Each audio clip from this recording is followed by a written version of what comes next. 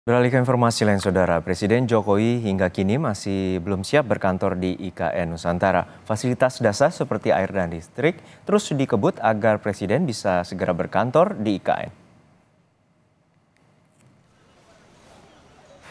Presiden Joko Widodo merespon soal kapan akan berkantor di Ibu Kota Nusantara IKN.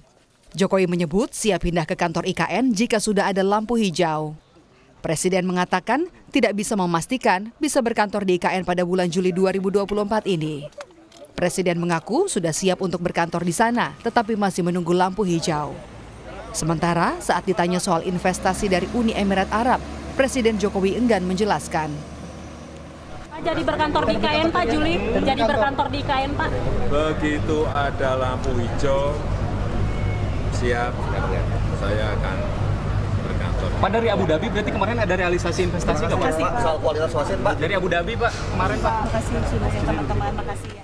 Menteri Perhubungan Budi Karya Sumadi mengatakan hujan yang terus mengguyur menjadi penghambat pelaksanaan proyek IKN, termasuk Bandara IKN. Budi mengklaim dalam sebulan, hari efektif mengerjakan proyek di IKN hanya 8 hari karena dampak hujan. Menhub menegaskan dirinya terus mengupayakan rencana perayaan 17 Agustus 2024 bisa digelar di IKN. Tentu kami uh, berusaha untuk sesuai dengan rencana untuk 17 Agustus. Tetapi memang harus diakui bahwa hari-hari di sana itu hujan terus. Bulan lalu itu satu bulan ada 8 hari saja yang bisa beroperasi. Sekarang ini kami sudah mengerahkan empat pesawat untuk TMC pengkondisian udara, tetapi masih hujan juga. Kami tetap Menjelang akhir Juli 2024, Presiden Joko Widodo masih belum juga berkantor di ibu kota negara Nusantara. Yang terbaru, Jokowi mengatakan bakal berkantor di IKN jika kondisinya sudah siap. Padahal, semula Jokowi menargetkan bakal berkantor di sana pada Juli 2024. Tim Liputan, Kompas TV. Informasi terkini dari IKN kita segera tanyakan langsung kepada jurnalis Kompas TV Renata Panggalo di Balikpapan, Kalimantan Timur. Renata hingga saat ini bagaimana perkembangan dari pembangunan IKN dan hingga saat ini bagaimana kondisi terkait dengan pemenuhan infrastruktur air dan juga listrik?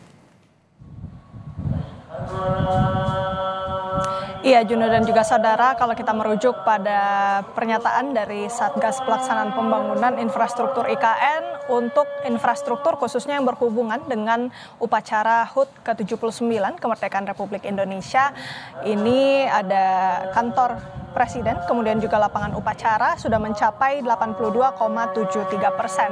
Untuk air bersih dan listrik pun ini terus dikejar pembangunannya.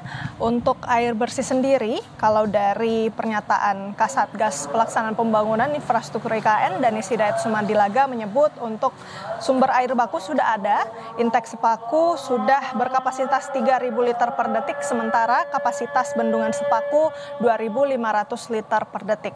Untuk listrik sendiri, IKN juga sudah punya PLTS IKN dengan kapasitas 10 megawatt dan ini diklaim juga sudah bisa membantu menyuplai uh, aliran listrik untuk upacara HUT ke-79 Republik Indonesia nanti.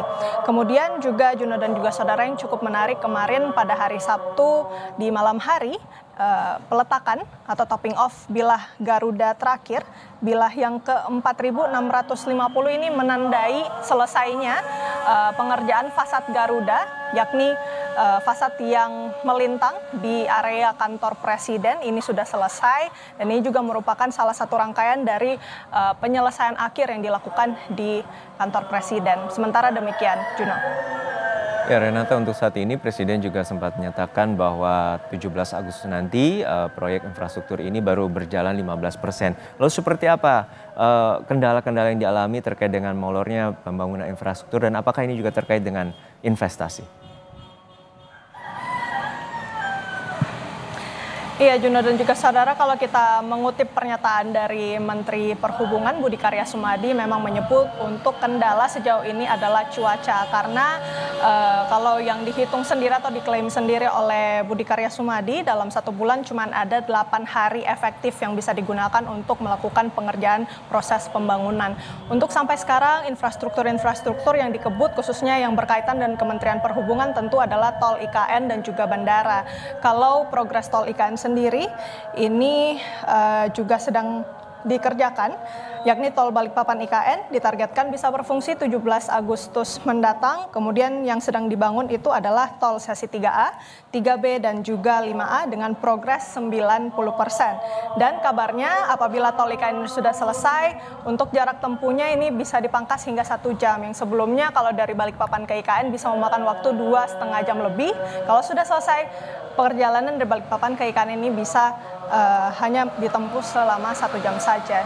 Uh, Juno, memang untuk apakah kemudian rencananya Presiden Joko Widodo bisa berkantor di bulan Juli ini? Kalau kita melihat pernyataan dari Presiden Jokowi, ia menunggu kalau sudah bis, kalau sudah lampu hijau, akhirnya dia bisa ber, berkantor begitu ya. Kalau kita melihat pernyataan dari KSP, misalnya di akhir Juli ini rencananya Presiden Jokowi akan berkantor. Namun untuk bagian teknisnya uh, dari Kementerian PUPR sendiri merencanakan atau memprediksi Presiden Joko Widodo akan berkantor di awal Agustus. Jadi kita masih terus pantau bagaimana kemudian proses pembangunannya. Juno.